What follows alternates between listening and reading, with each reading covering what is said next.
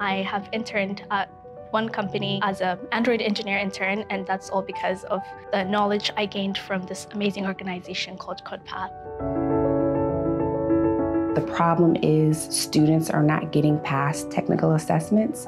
The fact that we can partner with CodePath so that students are prepared for technical assessments, no matter what institution they're coming from, no matter what their background is, that's exciting.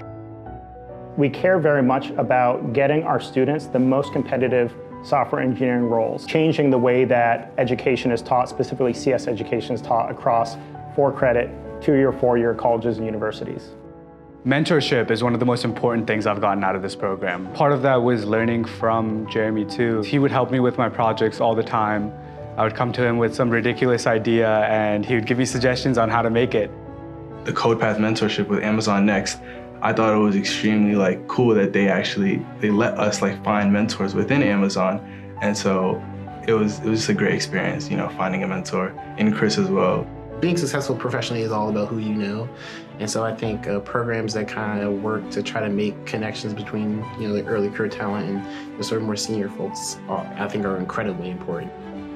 When I think of CodePath, I think the CodePath offers legitimate opportunities and access for students. We want to make sure we are supporting those that are underrepresented in the field, and we have identified tech as being a gateway to having some financial freedom. It's a huge thing, and that's why I chose to work at CodePath to make that difference.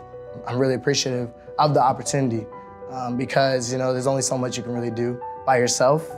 What they say, they say if you uh, want to go fast, go by yourself, but if you want to go far, you go with others.